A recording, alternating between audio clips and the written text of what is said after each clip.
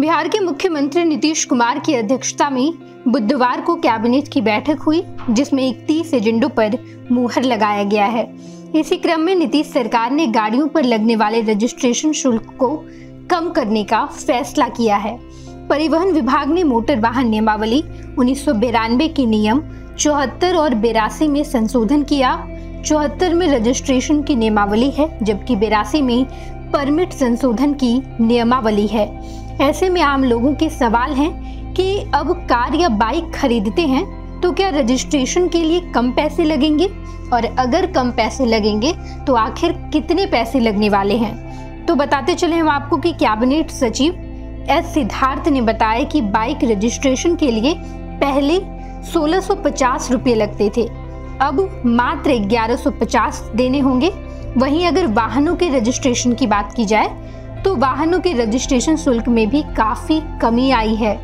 Auto rickshaw में पहले registration शुल्क छप्पन लगता था, यानी कि लगभग छह हज़ार रुपया। लेकिन अब वही घटकर ग्यारह सौ पचास रुपये हो गए हैं, यानी कि लगभग पाँच हज़ार रुपये कम हुए हैं। अगर आप ऑटो रिक्शा लेते हैं तो रजिस्ट्रेशन में जो पैसे लगा करते थे छप्पन सौ पचास रुपया, इसे घटाकर मात्र ग्यारह रुपये कर दिया गया है। ऐसे में इससे कीमत में बहुत बड़ी गिरावट देखी जा रही है। यानी कि रजिस्ट्रेशन में, ऑटो के रजिस्ट्रेशन में लगभग पाँच हज़ार रुपये की कमी आई है। इसके अलावा वहीं मोटर कैब की बात की जाए तो मोटर कैब यानी कार या पैसेंजर ढोने वाले वाहन जैसे विंगर, मैक्सी, जो पाँच सीट से तेरह सीट की क्षमता वाले हैं, उनका रजिस्ट्रेशन शुल्क पहले तेईस हज़ार छह सौ पचास लगता था, अब मात्र चार हज़ार एक सौ पचास कर दिया गया है। ये भी काफ़ी ज़्यादा है, बीस हज़ार रुपये कम किए गए हैं, जो कि बहुत बड़ी बात है। यानी कि पाँच सीटर वाले कोई पैसेंजर गाड़ी हो, चाहे वो कार हो, ऐसे जिसमें या तो पाँच सीट हो या तो तेरह सीट हो। पाँच से तेरह के पहले तेईस हज़ार रुपये लगते थे, इसे कम करके मात्र इकतालीस सौ पचास रुपये किए गए हैं। लगभग बीस हज़ार रुपये की कमी देखी गई है। इसके अलावा इस तरह अन्य गाड़ियों के भी रजिस्ट्रेशन शुल्क में काफ़ी कमी कर दी गई है। कहा जाए तो 60 से 70 फ़ीसदी शुल्क में कमी आई है। यानी माना जाए तो 10 लाख की गाड़ी पर पहले तेईस हज़ार तीस तक शुल्क लगता था। अब ये काम मात्र पाँच से सात हज़ार रुपये में हो जाएगा। ये सभी शुल्क का संशोधन पूरे बिहार के लिए किया गया है। राज्य सरकार के इस निर्णय के पीछे मुख्य वजह है कि बिहार में ज़्यादा से ज़्यादा वाहन खरीदे जाएँ, क्योंकि अभी जो रजिस्ट्रेशन शुल्क है, वो अन्य राज्यों की अपेक्षा काफ़ी ज़्यादा है। इसके कारण कई लोग बिहार से बाहर जाकर भी गाड़ी खरीद लेते हैं। ऐसे में माना जा रहा है कि जो लोग बाहर जाकर खरीद लेते हैं, वो बिहार से ही खरीदेंगे। इससे बिहार सरकार के रेवेन्यू में काफ़ी ज़्यादा वृद्धि होगी।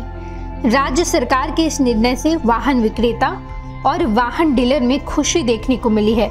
पटना के एक बड़े वाहन डीलर नितिन कुमार रिंकू ने कहा कि अभी बिहार में वाहन तो खरीदे जा रहे हैं, लेकिन उनका रजिस्ट्रेशन ज़्यादातर उत्तर प्रदेश, झारखंड और पश्चिम बंगाल में किया जा रहा है। वजह है कि इन राज्यों में बिहार की अपेक्षा रजिस्ट्रेशन शुल्क 10 से 15 फ़ीसदी तक कम है। पनोरमा ग्रुप जो सोचता है, वो करता है। आपके अपने सपनों का आशियाना। ये लो मुँह मीठा करो। आज मैंने अपना जॉब छोड़ दिया। अब हम पूर्णिया वापस जाएँगे। जॉब छोड़ दिया है? मतलब? ये घर कैसे चलेगा? हम करेंगे क्या? और माँ बाबू जी क्या बोलेंगे? इसलिए मैं एक और मिठाई का डब्बा लाया। अपने बिज़नेस के लिए लोन अप्रूव हो गया। अरे लोन अप्रूव हो गया वो तो ठीक है लेकिन पूर्णिया में हम रहेंगे कहाँ? अपना घर भी तो नहीं है वहाँ। इसलिए तो एक और मिठाई का डब्बा अलग से लाया हूँ। हमने पूर्णिया में घर ले लिया पूर्णिया के ई होम्स पैनोरमा में। पूर्णिया में पैनोरमा ग्रुप लेकर आए हैं। ई होम्स पैनोरमा बड़ा घर आलीशान ज़िंदगी और अत्याधुनिक सुविधाओं के संग। अरे अरे अब क्यों मुँह मीठा करवा रही हो? क्योंकि हम घर वापसी जो कर रहे हैं। घर वापसी की खुशी पूर्णिया में ई होम्स पैनोरमा के संग। E homes panorama luxurious lifestyle redefined